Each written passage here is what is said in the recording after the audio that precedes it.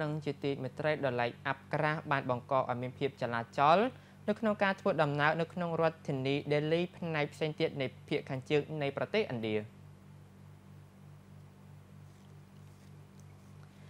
ភាពត្រជាក់ខ្លាំងនិងអាប់ក្រាស់បានបង្កភាពចលាចលនៅក្នុងការធ្វើដំណើរក្នុងរដ្ឋធានី Delhi ប្រទេសឥណ្ឌា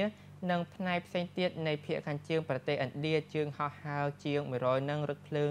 ចំនួន25នៅក្នុងទីក្រុងត្រូវបានពន្យាពេលដោយសារតែការមើលឃើញមិនច្បាស់ទីក្រុងនេះចុះអាប់ខ្លាំងជាមួយនឹងភាពមើលមិនឃើញធ្លាក់ចុះក្រោម30ម៉ែត្រកាលពីថ្ងៃពុធពពកអាប់ដ៏ក្រាស់នៅពេលព្រឹកបាននាំឲ្យ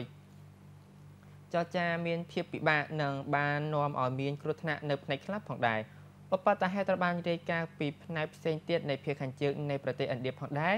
រថយន្តជាច្រើនបានបុកគ្នានៅលើផ្លូវ highway មួយកាលពីថ្ងៃពុធនៅរដ្ឋ Uttar Pradesh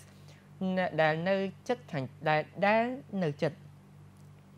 មនុស្សមួយចំនួនត្រូវបានគេរាយការណ៍ថាបានរងរបួសនៅក្នុងឧបតហេតុនេះអាប់ក្រាស់គឺជារឿងធម្មតានៅក្នុងតំបន់នេះដោយសារតែផ្នែកផ្សេងៗនៃភាគខាងជើង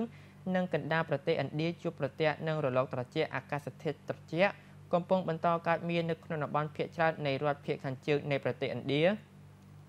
ការិយាល័យអាកាសធាតុរបស់ប្រទេសឥណ្ឌាបានចេញការប្រកាសអាសន្នដោយបាននិយាយថា ស្ថានភាពអៈនឹងបន្តសម្រាប់រយៈពេល5ថ្ងៃបន្ទាប់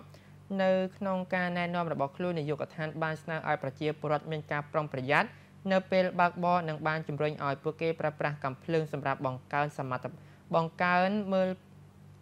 បង្កើនការមើលឃើញនៅលើដងផ្លូវភាពត្រជាក់ខ្លាំងគឺពិតជាពិបាកជាពិសេស សម្រាប់ប្រជាជនគ្មានផ្ទះសម្បែងរបស់ប្រទេសឥណ្ឌាដែលតែងតែដេកក្បែរផ្លូវនិងស្ថានីយ៍រថភ្លើងជាដើម។